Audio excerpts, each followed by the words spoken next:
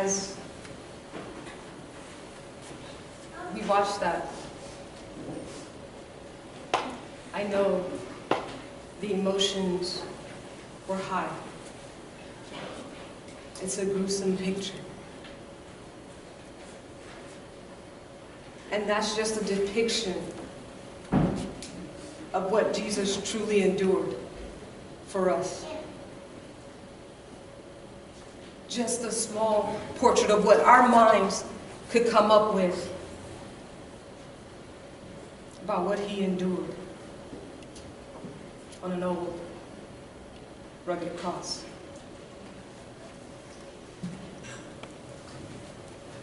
Blood stained. Upon that, he carried our sin and our shame.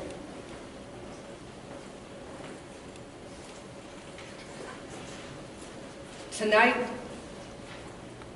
just for a little bit, I'm not, I'm not going to talk long because the story of the cross speaks for itself. But for a little minute, I want to talk about nailed to the cross. Nailed to the cross. See, each one of you, when you came in, got a nail. And that nail had a small little painted area to represent blood. It's not the nail that was drove into Jesus' wrist or the bone and sinew of his feet. That, that isn't the same type of nail, but it's a very good representation of the nail that he endured. You see, when Jesus did what he did by being nailed to a cross, he took every single thing all our sin, all our shame, all our heartbreak, all our, all our pain, everything he took. He carried it with him. He carried it to the cross. He did so willingly. No, as I began to think about this message, I actually originally thought about going in a different direction, and I thought about who really killed Jesus. Was it the Pharisees who cried, Crucify, crucify? Was it Pilate who ultimately gave the order? Was it the guardsmen that he turned him over to? Was it the people who shouted the loudest for him to be crucified? Was it you? Was it I? Was it our sin and shame? Did we crucify Jesus?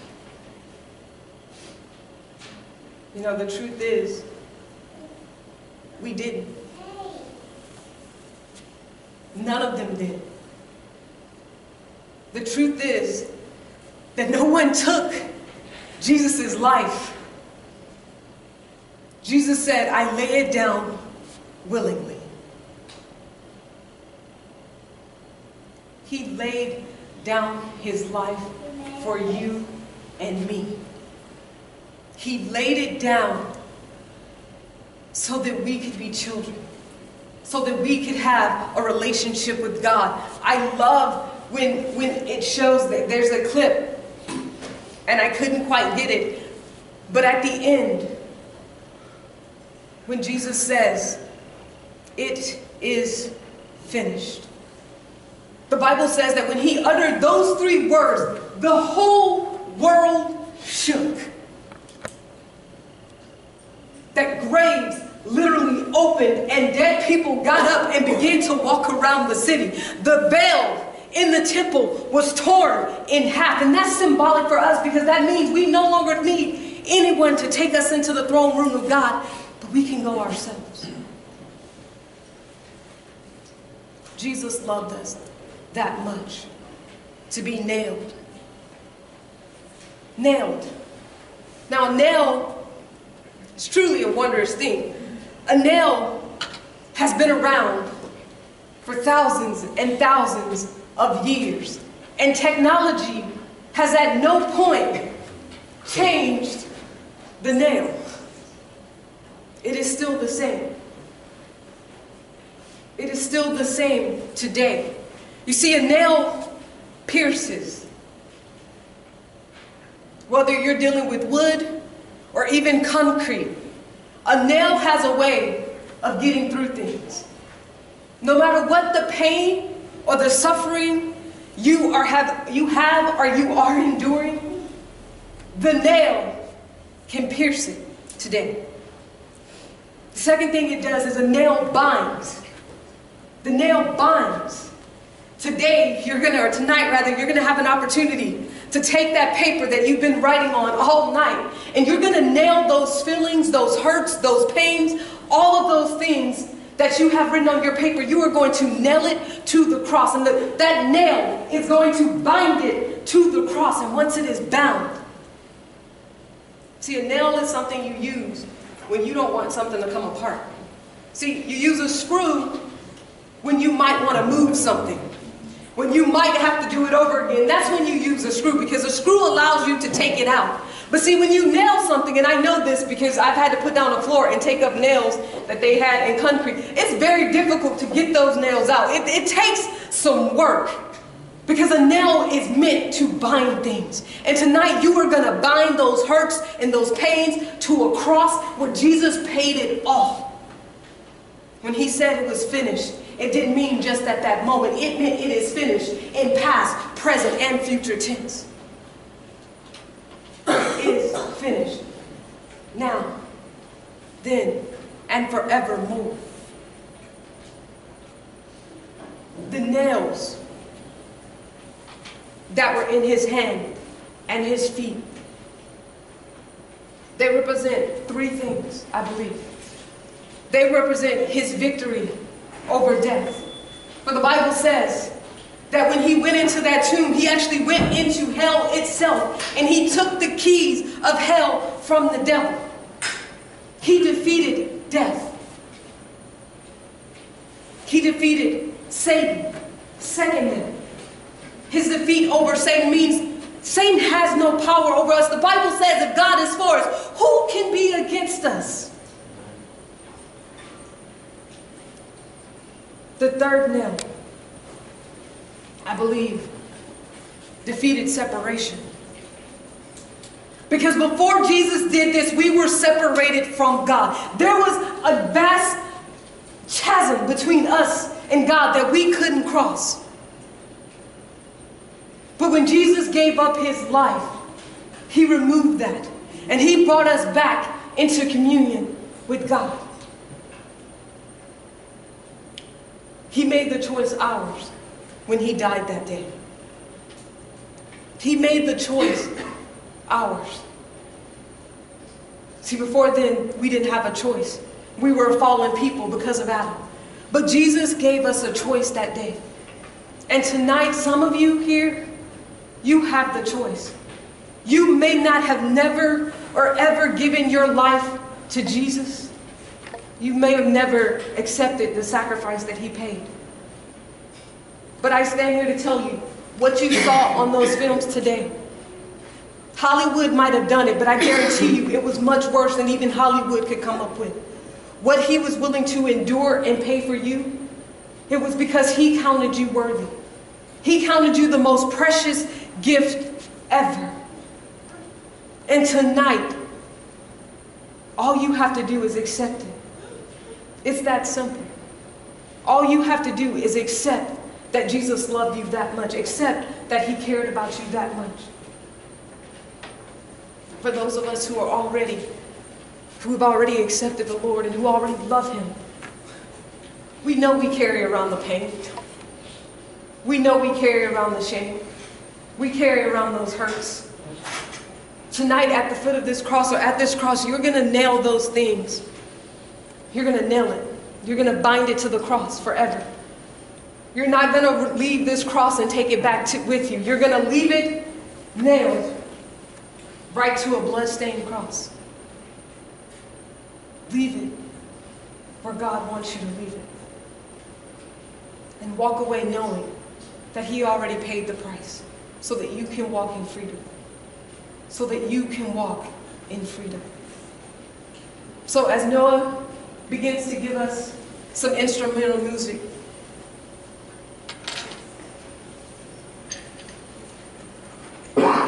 there will be some nails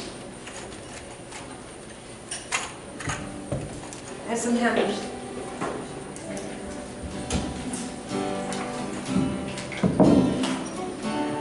You have the opportunity today to nail all of your troubles to the cross.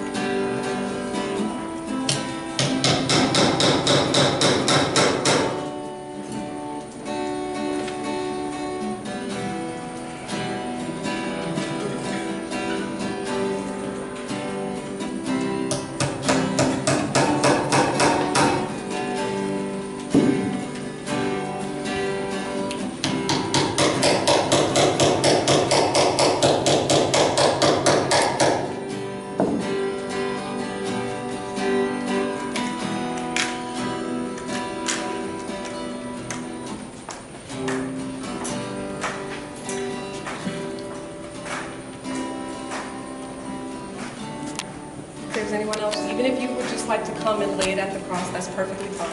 If there's anyone else.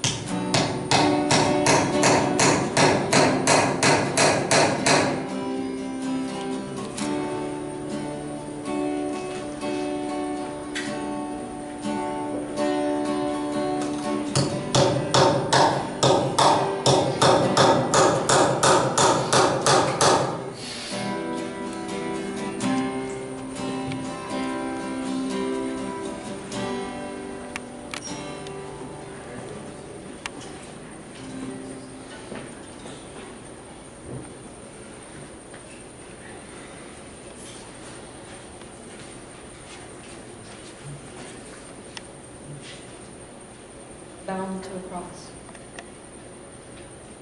In the same words that Jesus said when he gave up his last breath, it is finished. It is finished. It is finished. The devil will no longer use these things to pull you down. It is finished. You have let it go. It is finished. God is that loving. And God cares that much. It, of all the days and nights, no other shows his love for us as much as tonight does. Because it just truly shows how much he really loves us. And I know, and I, and I feel it, I'm sorry, I'm going to get down. But I feel like there's some of you here who doubt how much you are truly loved by God. You doubt if you're even loved by God, if God even cares about you, if God even knows you exist. You doubt that very thing. You may come to church and you may be here, but in your heart of hearts, you still wonder does he really care about me? Does he really care about me? The answer is yes.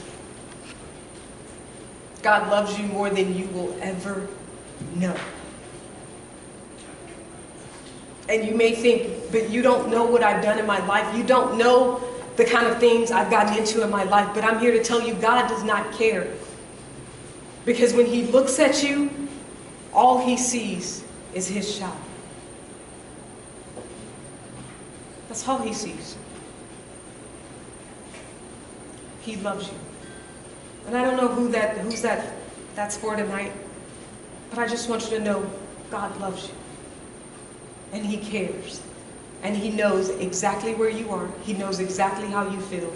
And He's using me to reach out to you tonight and, and hear His voice saying, I love you. We're going to close this time in prayer. Lord, I thank you right now for the sacrifice. I thank you that, Lord God, that the work you started, you finished so completely. That the, your sacrifice, Lord God, would require no other sacrifice. That it was perfect. And you loved us enough, Lord God, to make that sacrifice. God, for all of those under the sound of my voice, Lord God, let them soak in your love tonight. Let them see how much you, you loved us so unconditionally that not even your child was too much for us. Then, God, as they've laid down all their hurts, their pain, their anger, Lord God, as they nailed it to the cross, God, I pray that it is no more. I pray that you are putting the, the soothing balm upon their souls and their hearts right now. That you are healing them from the inside out, Lord. God, I thank you right now for what you have done for us. In the mighty name of Jesus.